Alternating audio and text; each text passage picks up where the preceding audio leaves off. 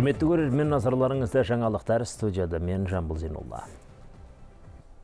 Президенттің тапсырмасымен биыл дарынды жастарға арналған тәуелсіздік ұрпақтар аталатын грант тағайындалды. Мұны бүгін елордада өткен жастардың халықаралық форумында мемлекеттік хатшы қырымбек көшербаев айтты. Алқалы жиында жастардың рөлі айқындалды. Форумнан қорған қонысбайұлы сөз алады. Елбасы кітапханасы бүгін мағжан айтқан жалынды жастарға толды. Біз ел патриотымыз атты халықаралық форумға 300 адам жиылды. Форумға Әзербайжан, Беларусь, Қырғызстан, Ресей, ақш Түркия, Франциядағы жастар ұйымдарының өкілдері, жас ғалымдар, кәсіпкер, депутаттар, Қазақстанның жүз жаңа есім жобасының жеңімпаздары, болашақпен оқып келгендер һәм аға буын өкілдері қатысты. Жиында тұңғыш президенттің хаты оқылды. Тәуелсіздіктің мерейлі 30 жылдығы аясында ұйымдастырылып отырған бүгінгі форумның басталуымен баршаңызды құттықтаймын. Жастар қоғамның қозғаушы күші, үкілі үміті. Егемендік жылдары елімізде санасы азат, ой сергек тұтас бір жаңа буын қалыптасып, өсіп жетілді. Біз тәуелсіздігіміздің бұл белесіне жарқын жетістіктермен аяқ басып отырмыз. Өскелең ұрпақтың ертеңі үшін мемлекет тарапынан маңызды шешімдер қабылданып, тың бастамалар қолға алынды. Осыдан соң мемлекеттік хатшы сөз алды. Қырымбек Көшербаев тәуелсіздіктен асқан мұрат жоқ деді. Тәуелсіздік біз үшін тәуетер жалғыз киеміз тәуелсіздік ата бабамыздың ғасырлар бойғы аңсар арманы біздің ұлттық идеямыз. Сондықтан ел ертеңі жастар үшін тәуелсіздіктен асқан асқақ мұрат асқаралы құндылық болмауы тиіс.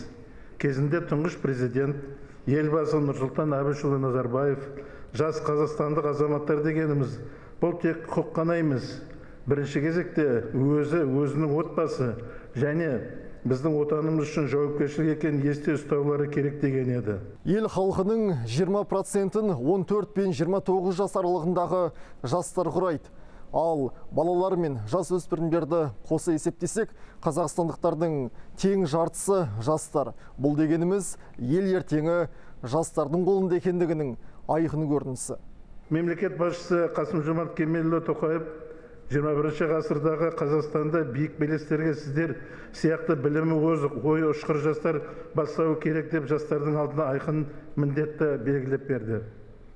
Президент біздің елімізде жауапты мемлекет жауапты қоғам жауапты адам жүйесі берік орнауы керек деген ұстанымын ерекше атап өтті. Бүгінгі таңда елімізде рухани жаңғыру бағдарламасын ұлттық жаңғыруға ұластыру бойынша нақты шаралар қабылдануда.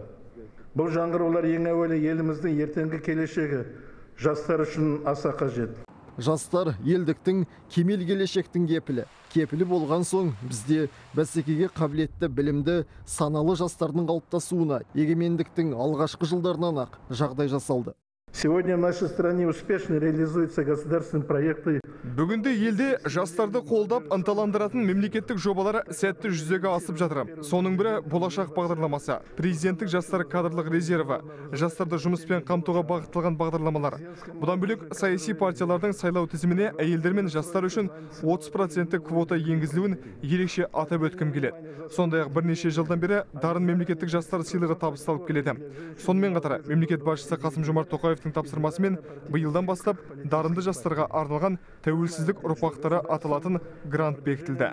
Мемлекеттік хатшының сөзін сабақтай кетейін. Ел енді ғана еңсесін тіктеп халық жарып жалақымен зейнетақы ала алмай отырған қысылтаяң шақтың өзінде елбасының бастамасымен болашақ стипендиясы тағайындалған еді. Бағдарлама 28 жыл бойы жемісін беріп келеді.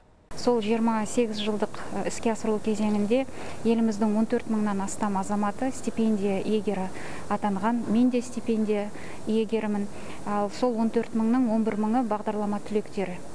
Сол түлектер бүгінгі таңда әлемнің озық жоғары оқу орындарында еліміздің нарығындағы ең сұранысы жоғары тапшы мамандықтар бойынша білімін алып қазіргі таңда еліміздің игілігіне қызмет етуде. Ел игілігі жолында қызмет етіп жатқан жалынды жастардың бірі санжар тайжан инженер. Оның жобасын әлемге танымал өнер тапқыш илон маск жоғары бағалаған. Жерлесіміз миллиардердің өзі ұйымдастырған байқауда 1600 адамның арасынан қара үзіп шыққан. Енді электр көлік түрін елімізде жасамақшы.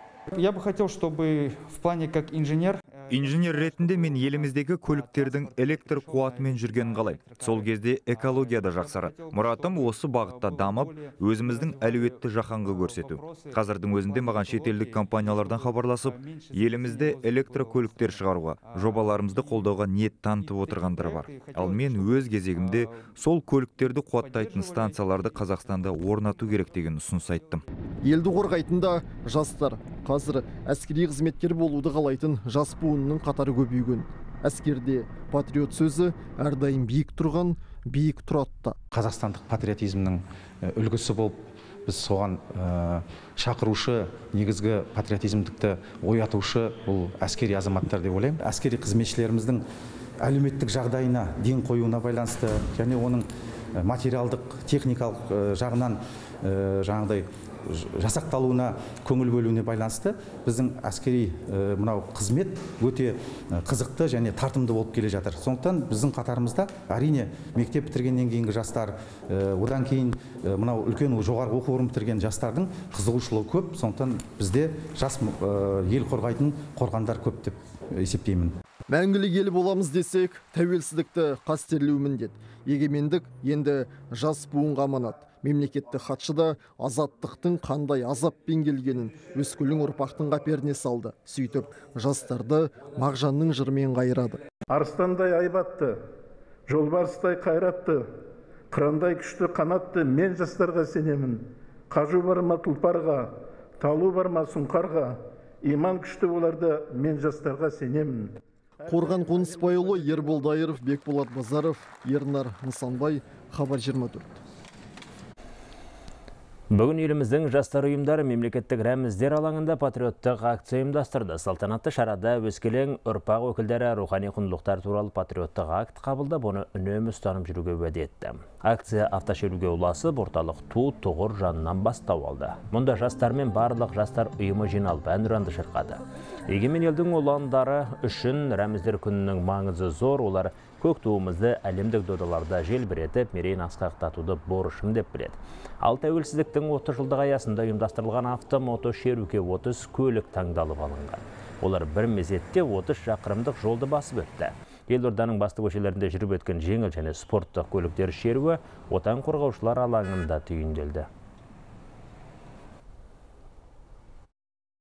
Бүгінгі іс шараның басты мақсаты осы қазақстан республикасында барлық жастар ұйымдары мен жастарға осындай менің туым деген сияқты менің мақтанышым және қазақстан республикасының осы рәміздер күніне байланысты үлкен жаңағыдай челлендж жолдап отырмыз. Акция науқанында ұйымдастырылып отырған іс шара барынша барлығымызды патриоттық сезімге баулай отырып осындай тиімді әрі өте қызықты іс шараларды ұйымдастыруға бір болуға шақырамыз. Барлық спортшылардың арманы ол мемлекеттік тудың көтерілгені және әнұранын орындағаны. Осы іс шара мемлекеттік рәміздердің де рухын көтереді деп ойлаймын. Сондықтан барлық автошабандоздар бұл іс шараны қуана қабылдады.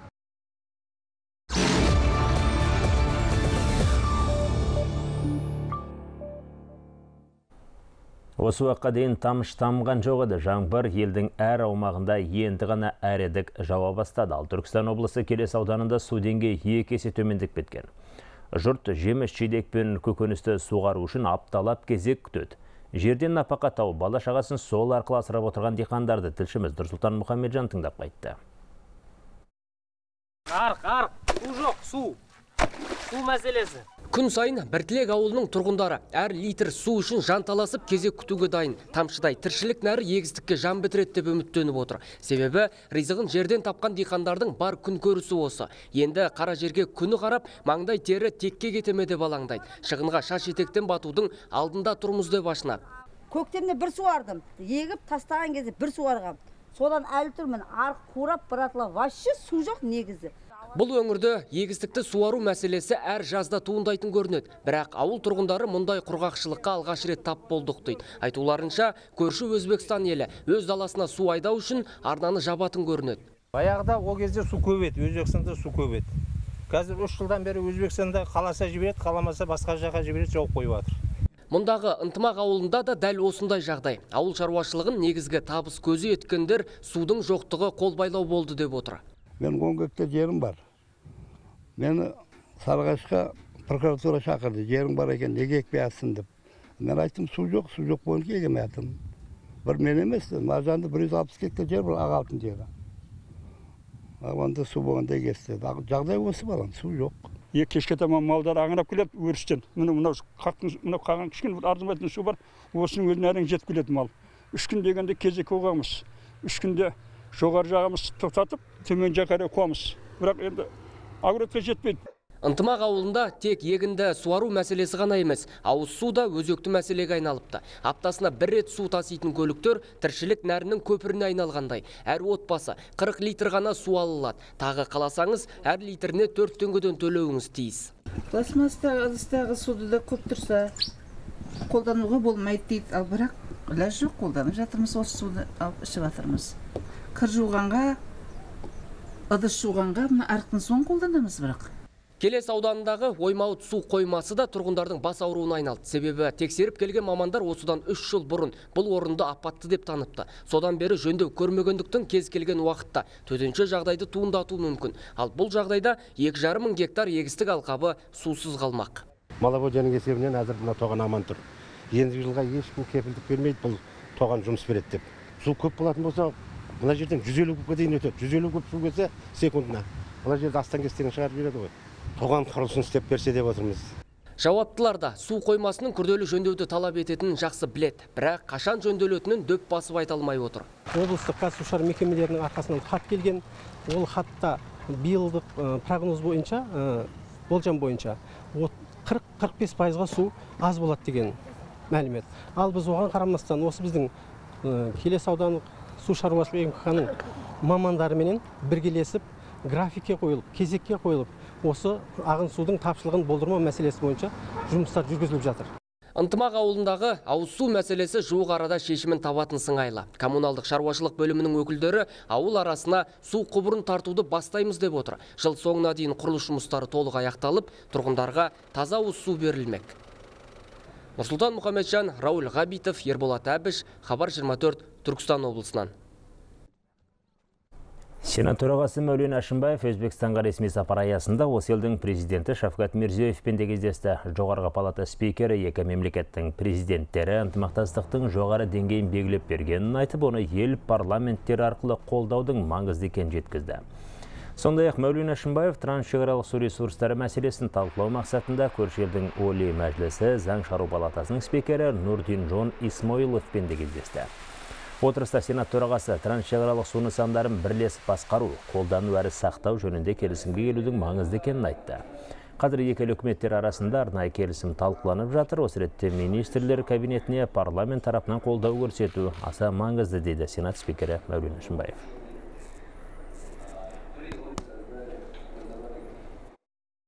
Сегодня рассматривается соглашение о совместном управлении и Қазір екі елдің үкіметтері трансшекаралық су нысандарын бірлесіп басқару жөніндегі келісімді қарап жатыр. Құжатты талқылау барысында туындаған өзекті мәселелер де біртіндеп шешімін табуда. Бұл ретте осы келісімді қабылдау біздің аймақтарымыздағы су ресурстарын пайдалану жөніндегі әріптестік аясын кеңейтпек. Сондықтан біз парламент өкілдері барынша қолдау танытуымыз аса маңызды. Кездесу барысында екі ел парламенттерінің бір-біріне деген қолдауы да сөз болды. Нақтырақ айтсақ, көрші Өзбекстанның депутаттары қазақстандық әріптестерінің халықаралық деңгейдегі бастамаларын құптайтындықтарын жеткізді. Өз кезегінде қазақ тарапы бауырлас елмен әріптестіктің дамуына ризашылығын білдіріп, ынтымақтастықты әрі қарай ілгерілетуге мүдделі екендігін жеткізді. Қазіргі кездесуде Қазақстан жағының мынау халықаралық халықаралық дүниеде қылып бір екі өзінің көрсеткен қымақшы болған бір екі пландарын өзбекстан тарапынан қалай қолдау или өзбекстанның парламенті бұған қарай қайсы позицияда қарауымен қызықты ары өзбекстан президентінің бмт ның жақында болып өткен жиналысында көрсеткен ары ортаға тастаған мәселелерін қазақстан парламенті қалай қолдайды деген мәселелерді бүгін көріп шығылды екі мемлекет парламенттер бұл мәселелерді бір бірін қолдауын білдірді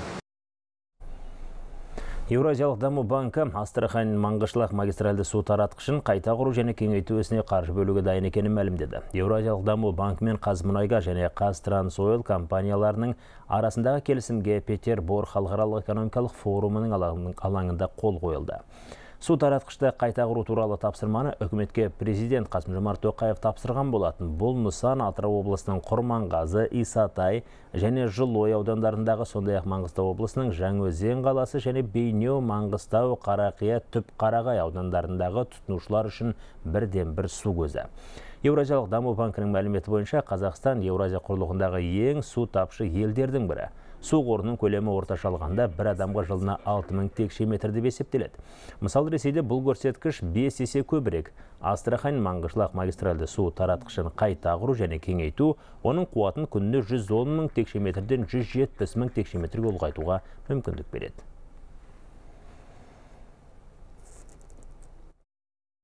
Ориентируемся на начало проекта. Жоба биылғы жылдың аяғына қарай немесе келесі жылдың басында басталады деп топшылап отырмыз. Қазір жоба құнын алдын ала есептеп жатырмыз. Бірінші кезеңге 125 миллиард теңге керек деп ойлаймыз. Это кредитное соглашение. Несие келісіміне сәйкес қаржыландыруды теңгеге шаққандағы негізгі мөлшерлемеге жақын меже бойынша ұсынамыз. Бұл тамаша шарттары. Осылайша біз Батыс Қазақстандағы бизнес пен өнеркәсіптің өркендеуіне жаңаша серпін бермекпіз. Жоба өзін толық ақтайды. Алматы маңындағы бұлақ пен өзендері қоқысқа толып барады. Бұл экологиялық апатқа келуі мүмкін. Алып мегаполистің эко белсенділері осылай деді. Бұл жағдайдан экология министрлігі де хабардар осыған байланысты бұлақ пен өзендерді құжаттандыру бойынша экологиялық белсенділердің бастамасымен қоғамдық комиссия құрылған. Олардың айтуынша тұрғын үйлер мен өндірістік нысандар ағын суға жақын салынған құрылыс ережелері сақталмаған. Одан шыққан шайынды су өзенге келіп құйылады. Ал лас су жиналатын шұңқырды жақын қазғандар ескертуді елеп жатқан жоқ. Оған қоса құрылыс қалдықтары да өзен жағалауына төгіле жазда демалушылар қосылып жағдай мүлдем ушығып кетуі әбден мүмкін. Енді комиссия осының бәрін көріп, су көздерін ретке келтіруді қолға алмақ, айта кетейік Алматыда 20-дан аса өзен мен бұлақ бар. Необходимо поддержка бізге осы жұмыстың бәрін ойдағыдай жүргізу үшін құқық қорғау органдарының көмегі керек. Су жағасындағы жекеменшік үйлер мен басқа да нысандарға аттап басып кіре алмайсың. Ал олардың моншасы қала берді дәретханасы ағып жатқан суға өте жақын салынған. Су қоймасы мен нысан арасында белгілі бір қашықтық болу керек екенін білсе де ескермейді айыппұл көлемі өте төмен. Осыған қатысты заңды қатаңдату керек деп есептеймін. Ауыл шаруашылығы бойынша қозғалған қылмыстық істердің 54% субсидияларды заңсыз бөлумен байланысты. Мәселен, 5 жыл ішінде шаруаларға 1 триллион теңгеден астам жеңілдетілген несие берілсе, жартысынан көбі заңсыз жолмен рәсімделген. Бұл туралы сыбайлас жемқорлыққа қарсы қызмет басшысы Марат Ахметжанов мәлімдеді. Бұдан бөлек антикор басшысы мемлекеттік жоспарлау және мемлекеттік сатып алу порталдарын біріктіруді, сондай-ақ бюджеттік өтінімдерді жариялауды ұсынды. Ірі нысандарды салу кезінде жобалық жоспарлауға көшу керек және бюджет қаражатын бөлуден бастап игеруге дейін сүйемелдеуді енгізген жөн. Мемлекет қаржысымен жұмыс істегің келсе, ашықтыққа дайын бол дейді агенттік төрағасы. Мамандықтың да озығы тозығы бар. Алдағы 10 жылда есепшілер, кран, трактор жүргізушісі сынды мамандықтар жойылады. Қазір нарық талаптар өзгерген. Ал жаңадан пайда болатын түрлері ақпараттық технологиямен тікелей байланысты болмақ. Тіпті дәнекерлеуші, агротехник, медицина қызметкері IT біліктілікті меңгермесе өз ісін алға бастыруы қиындайды. Неліктен бұл сұраққа тілшіміз жауап іздеп көрді. Бұл елордадағы байырғы оқу орындарының бірі. Өткен ғасырдың 70-ші жылдарынан бері құрылыс саласына қажетті маман даярлап келеді. Кейінгі жылдары білім алушылар саны артпаса кемеген емес. Себебі жастар жұмысшы мамандықтарға қайта қызыға бастаған.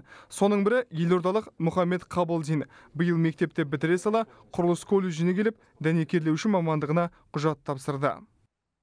Курсы по сантехнике Сантехника саласында меңгергім келеді, бірақ алдымен осы дәнекерлеу ісін үйренгенім жөн. Бұл оқу орнында қажетті құрал жабдық, теориялық әрі практикалық процесс бәрі қарастырылған. Әкем бұл шешімімді қолдады, анам да қарсы емес. Енді келешекте осы бағытта жұмыс істеп, табыс тапқым келеді. Анығында біздің елде жұмысшы мамандықтар тегін оқытылады. Бір ғана елорданың өзінде осындай 20-ға жуық колледж бар. Соңғы жылдары елдің білім беру саласына академиялық еркіндік жүйесі енгізілді. Бұл дегеніміз университеттердің нарықты зерттеп, сұранысқа сай кадр даярлауына мүмкіндік береді. Бүгінгі күні енді бұл нарықтың талабына сәйкес біздің университеттердің тез арада бейімделуіне байланысты осындай біз еркіндікті беріп отырмыз. Осы еркіндік аясында олар коммерциялық емес акционерлік қоғам ретінде қайта құрылып отыр. Биыл жұмысшы мамандықтарға яки құрылыс техника саласына мемлекеттік гранттар тағы көп бөлінеді. Шамамен 30 проценттен астама осы салаға бағытталады дейді білім және ғылым министрлігінің өкілдері. Әдеттегідей тау-кен мұнай газ ісіне жаңа кадрлар қажет. Бұл тізімге денсаулық сақтау саласында қосыңыз. Себебі пандемия әлем бойынша бір ғана эпидемиолог мамандардың тапшылығын көрсетті келесі 5-10 жылда 5 үлкен бағыт сұранысқа ие болады. Бірінші әрине ақпараттық технологиялар. Екінші үлкен бағыт ол медицина саласы эпидемиология. Әсіресе микроағзалар мен вирустардың генетиктері үлкен тапшылыққа ие. Дүниежүзілік денсаулық сақтау ұйымының деректеріне сүйенсек дүние жүзінде осы мамандардың бір жарым миллион тапшылығы бар. Мамандардың бұлай топшылауына бірнеше себеп бар. Алғашқысы пандемия дедік, ал екіншісі заманауи ақпараттық технологиялардың дамуы. Енді медицина саласында IT біліктілік те қоса берілетін болады. IT медик осы ақпараттық құралдарды пайдаланатын медицина саласындағы мамандар, IT инженер, экология мәселесі, IT агроинженер, мына аграрлық салаға байланысты. Сосын өздеріңізге белгілі мынау қазіргі кезде ақылды үй, мынау құрылыс саласында да ақпараттық құралдарды кеңінен пайдалана отырып осындай пәнаралық бағдарламаларды қолдану әзірлеу кеңінен орын алып отыр көзқарақты көрермен мен газет сүйер қауымға күнделікті ақпарат ұсынатын журналистер де заман дағдысына сай болуы қажет. Енді бұқаралық ақпарат құралдары саласының білгір атану әсте оңай болмайды. Бұл мамандық алу қиындай түседі деген сөз емес. Тек университеттерде білім беру бағдарламалары өзгереді. Академиялық еркіндік бойынша кей білім ордалары болашақ журналистке экономика қаржы және заң саласы бойынша да дәріс береді. Біздің шешектеп отырған мәселеміз бұл жерде біз мүмкіндігінше зерттеу жағын қарастырамыз. Яғни мысалға сіз білесіз қазір мысалы мемлекеттік сатып алу деген бар көбінесе проблемалық тұрғыда иә? Яғни осыларды зерттейтін журналистерді дайындауға тырысамыз. Айта кетейік, биыл ғана іске қосылған Қазақстанның жаңа мамандықтар атылысы жобасының жетекшілері жойылып бара жатқан кәсіп түрлерін де атады. Бульдозер, трактор, тіпті кран жүргізу де келешекте роботтың қолынан келетін шаруа болмақ. Сондықтан түбегейлі жойылып кетуі мүмкін дейді сарапшылар. Оның орнына ұшқышсыз басқарылатын аппараттардың операторы, кибер қорғаушы, кванттық компьютерді талдаушы сынды мамандық түрлері пайда болады тіпті кейіпкеріміз мұхаммед қабылдин таңдап отырған дәнекерлеуші кәсібі де өзгеріске ұшырайды. Бұл істі роботтар атқарып ал адамдар қашықтан басқарып бақылайтын болады. Рауан мыңбаев ерлан наурызбаев ержан қанапияұлы хабар 24 Қарағанды облысында коронавирусқа қарсы вакцинаның екі компонентін алғандар кәсіпкерлік нысандарында 5-тен 50%-ке дейін жеңілдікке ие болады. Мұндай бастама қауіпті өмірге тезірек оралу мақсатында жасалып отыр. Мысалы 25 мыңнан астам тұрғыны бар Абай қаласында 6 мыңнан астам адам екпенің екі компонентін салып үлгерген. Бүгіннен бастап вакцина салуға ниеттенгендерге қосымша сыйлықтар берілмек, ал дәрігерлердің 90% екпе салдырып ұжымдық иммунитет қалыптастырған. Әзірге айтарымыз осы, дені тыңдағандарыңызға рахмет.